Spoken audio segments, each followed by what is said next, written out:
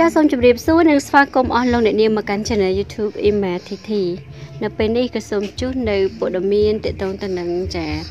កម្ពុជា ប្រកាសផ្អាកជើងហោះហើរពី ប្រទេសហ្វីលីពីនជាបណ្ដោះអាសន្ននៅ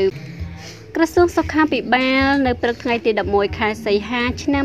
2020គឺបានចេញនៅសេចក្តីប្រកាសមួយដោយផ្ដោតសំខាន់ទៅលើការផ្អាកជាបណ្ដោះអាសន្ននៃជើងហោះហើរពីប្រទេសហ្វីលីពីនមួយរយៈគឺចាប់ពីថ្ងៃទី13ខែសីហាឆ្នាំ2020តទៅ យ៉ាងតាមចំណាយល់ព្រមពីនាយករដ្ឋមន្ត្រីដែលចុះថ្ងៃទី11ខែសីហាឆ្នាំ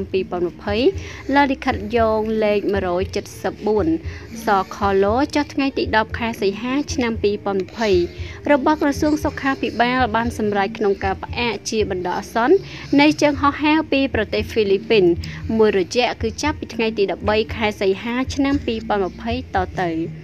ការសម្រេចរបស់រាជរដ្ឋាភិបាលនៅក្នុងការផ្អាកជាបណ្ដោះអាសន្ននៃជើងហោះហើរពីប្រទេសម៉ាឡេស៊ីនិងឥណ្ឌូនេស៊ី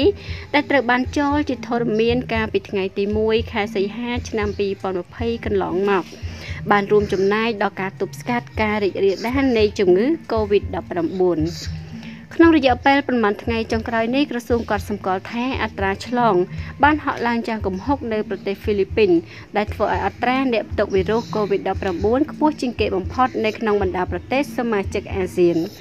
ដូច្នេះអ្នកតំណាងមកពីប្រទេសហ្វីលីពីនក៏ជាការព្រួយបារម្ភផងដែរម្យ៉ាងទៀតកាលពីថ្ងៃទី8ខែសីហាឆ្នាំ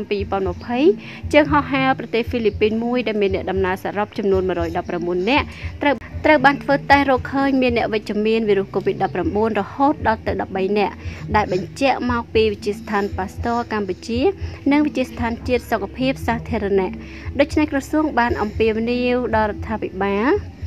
ដូច្នេះក្រសួងសុខាភិបាលអំពាវនាវឲ្យមានការប្រុងប្រយ័ត្នដើម្បីទប់ស្កាត់នៅរលកលើកទី2នេះ ចាអញ្ចឹងតកតងទៅនឹងចា COVID-19 គឺនៅតែក្តៅកគុកនៅឡើយចាទូទាំងពិភពលោកតែម្ដង គឺនៅតែមានការព្រួយបារម្ភចំពោះការរីករាលដាលនៃចាជំងឺមួយនេះហេតុ ហេតុដូច្នេះហើយបានជានៅក្នុងប្រទេសកម្ពុជាយើងចាប្រមុខថ្នាក់ដឹកនាំក៏ដូចជាក្រសួងសុខាភិបាលគឺតែងតែចាផ្សព្វផ្សាយក៏ដូចជារិះរោចនៅវិធានការនានាដើម្បីទប់ស្កាត់ចាជាពិសេសគឺរលកលើកទី2នឹងតែម្ដង ដែលធ្វើឲ្យពួកយើងទាំងអស់គ្នាមានការព្រួយបារម្ភចាអញ្ចឹងអ្នកខ្ញុំក៏សូមបញ្ចប់ជាមួយនឹងព័ត៌មានយើងតែត្រឹមប៉ុណ្ណេះចាលោកអ្នកអាចខមមិននៅខាងក្រោមបានបើសិនជាមានជាមតិយោបល់អ្វីចាសូមអរគុណសូមជម្រាបលាជួបគ្នានៅវីដេអូក្រោយៗទៀត